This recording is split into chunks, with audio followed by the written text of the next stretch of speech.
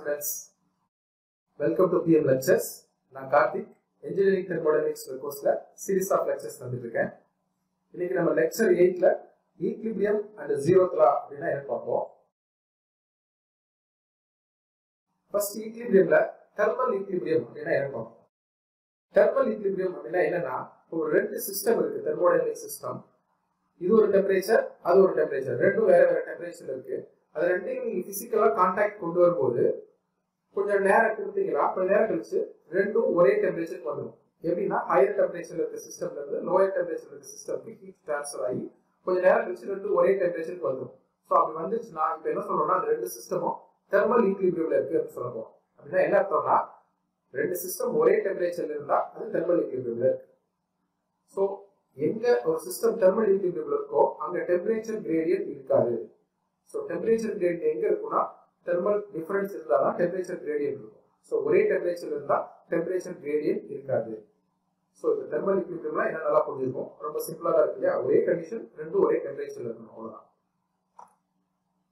next chemical and phase equilibrium chemical equilibrium அப்படின்னா என்னன்னா ஒரு சிஸ்டம் ஃபுல்லாக யூனிஃபார்ம் கெமிக்கல் காம்போசிஷன் இருந்ததுன்னா அந்த சிஸ்டம் வந்து கெமிக்கல் ஈக்லிபிரியம்ல இருக்குன்னு சொல்லுவோம். ஃபார் எக்ஸாம்பிள் ஒரு பாத்திரத்துல நீங்க தண்ணி எடுத்து வச்சுக்கிறீங்க. நீங்க பாத்திரத்துல எந்த காரணம் எடுத்து பார்த்தாலும் ஹெச் டூ ஓ அப்படின்ற மாலிகுல் தான் இருக்கும் அப்படின்னா அது யூனிஃபார்ம் கெமிக்கல் காம்போசிஷன் தான். ஹெச் ரெண்டு ஹெச் ஒரு ஓ அந்த மாதிரி யூனிஃபார்ம் கெமிக்கல் காம்போசிஷன் தான் அந்த த்ரூ அவுட் கண்டெய்னர் இருக்கு இல்லையா? ஸோ இதை வந்து நம்ம என்ன சொல்லலாம்? கெமிக்கல் ஈக்லிபிரியம்ல இருக்கு அப்படின்னு சொல்லலாம். எப்போ அந்த சிஸ்டம் வந்து ஃபேஸ் ஈக்லிபிரியம்ல இருக்கு அப்படின்னு சொன்னோம்னா அந்த சிஸ்டம் வந்துட்டு ஒரே ஃபேஸ் இருக்கு. அந்த வாட்டர் வந்து கொஞ்சம் ஐஸ் ஆகும் இல்லை கொஞ்சம் ஸ்டீம் ஆகும் கொஞ்சம் வாட்டராகவும் இருந்ததுன்னா இப்போ அது வந்து ஃபேஸ் டிஃப்ரெண்ட் ஃபேஸ் இருக்கு ஸோ அது மாதிரி டிஃப்ரெண்ட் ஃபேஸில் இருக்கக்கூடாது. ஒரே ஃபேஸில் இருக்கணும். ஸோ அப்படி டிஃப்ரெண்ட் ஃபேஸில் இருந்தால் கூட ஒரே மாஸ் ப்ரொபோர்ஷனில் இருக்கணும். இப்போ ஃபார் எக்ஸாம்பிள் நம்ம பாய்லருக்குள்ளே நம்ம தண்ணி எடுத்துட்டு அந்த தண்ணி வந்து ஸ்டீமாக மாறும் பாய்லருக்குள்ளே ஸோ பாய்லருக்குள்ள நீங்கள் எந்த டைம் நீங்கள் உள்ள பாய்லர் ஓப்பன் பண்ணி பார்த்தீங்கன்னாலும் ஒரு பர்டிகுலர் கேஜி ஆஃப் வாட்டர் இருக்கும் ஒரு பர்டிகுலர் கேஜி ஆஃப் ஸ்டீம் இருக்கும். ஸோ அதில் மாற்றமே இருக்காது. ஸோ அது மாதிரி fixed mass proportion of phase இருக்கணும். அப்படி இருந்ததுன்னா அது ஃபேஸ் ஈக்லிபிரியம்ல இருக்குன்னு அர்த்தம் ஸோ இன்னொரு கண்டிஷன் கெமிக்கல் ஈக்லிபிரியம்க்கு இன்னொரு கண்டிஷன் என்னன்னா மாஸ் ட்ரான்ஸ்ஃபர் நடக்கக்கூடாது. இப்போ அதே பாத்திரத்துல நீங்க வாட்டர்ல கொஞ்சம் சால்ட் போடுறீங்க.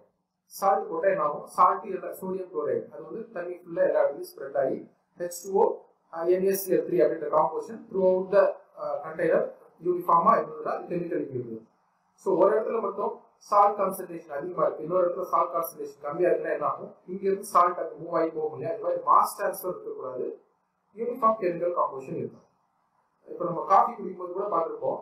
அந்த டம்ளரில் பாட்டம் கிளாஸில் வந்து பார்த்தோம்னா கொஞ்சம் அதிக ஸ்வீட்டாக இருக்கும் காஃபி இது மாதிரி ஒரு இடத்துல மாஸ் கான்சன்ட்ரேஷன் அதிகமாகும். இன்னொரு இடத்துல மாஸ் கான்சன்ட்ரேஷன் கம்மியாகவும் இருந்ததுன்னா அந்த மாஸ் வந்து ஹையர் கான்சன்ட்ரேஷன் வந்து லோயர் கான்சன்ட்ரேஷன் மூவ் ஆகும். ஸோ இது பேர் தான் மாஸ் ட்ரான்ஸ்ஃபர் ஸோ இந்த மாஸ் ட்ரான்ஸ்ஃபரும் நடக்கக்கூடாது.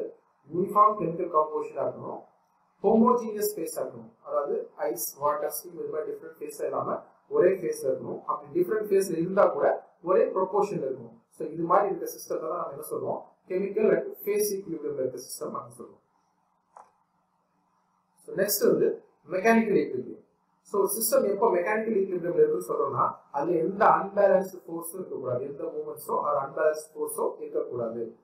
அப்போ வந்து நம்ம அதை மெக்கானிக்கல் ஈக்லிபிரியம் சொல்லணும் இருக்குன்னு சொல்லலாம். ஸோ ப்ரெஷர் வேணா இப்போ வேரியன்ஸ் இருக்கலாம். இப்போ ஒரு பாத்திரத்துல நீங்க தண்ணி எடுத்துட்டீங்கன்னா பாத்திரத்தோட பாட்டம்ல பார்த்தோம்னா ப்ரெஷர் அதிகமா இருக்கும். மேல பார்த்தோம்னா ப்ரெஷர் கம்மியா இருக்கும்.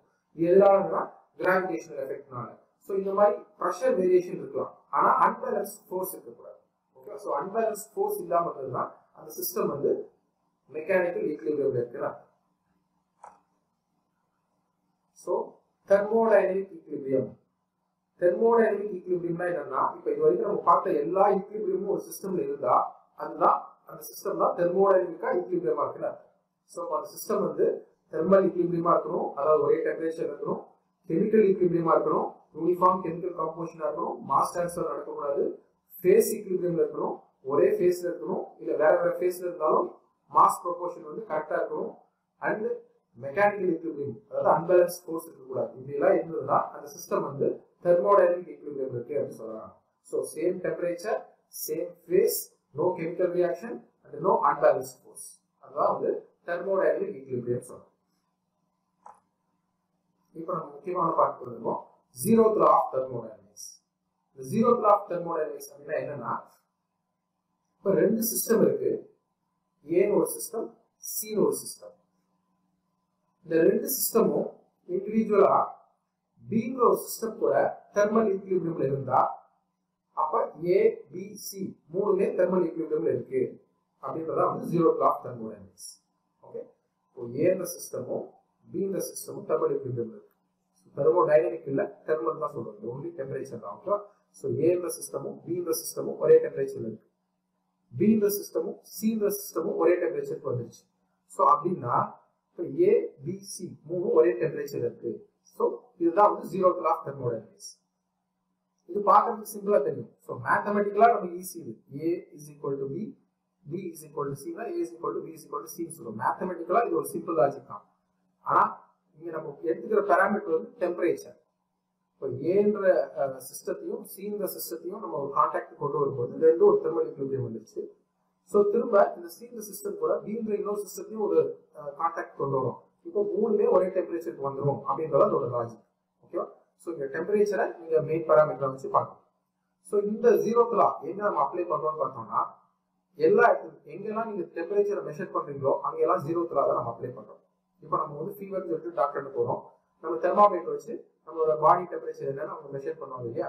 ஸோ அப்படி வைக்கும்போது என்ன ஆகும்? நம்ம பாடியோட டெம்பரேச்சர் அந்த தெர்மாமீட்டர்ல இருக்க பல்பு அந்த பல்போட டெம்பரேச்சர் அந்த பல்புக்குள்ள இருக்க மெர்குரி அதோட டெம்பரேச்சர் ஸோ இப்போ நம்ம சிஸ்டம் ஏ பிசி இந்த மூணுமே வந்து ஒரே டெம்பரேச்சருக்கு வரும் கொஞ்ச நேரம் நம்ம தெர்மாமீட்டர் வச்சுட்டு இருந்தோம் நம்ம பாடியில் கொஞ்ச நேரம் கழிச்சு மூணு ஒரே டெம்பரேச்சருக்கு வந்துடும் இப்போ அந்த மெர்குரியோட டெம்பரேச்சர் என்னன்றதை எடுத்து மெஷர் பண்ணோம்னா நம்மளோட பாடியோட டெம்பரேச்சர் என்ன தெரிஞ்சிடும் ஸோ இதுதான் இந்த zero கிலாவோட application so thank you for வாட்சிங் ஸோ நெக்ஸ்ட் செஷனில் நம்ம ஃபர்ஸ்ட் ஆஃப் தெர்மோடைனமிக்ஸ் என்ன பார்ப்போம்?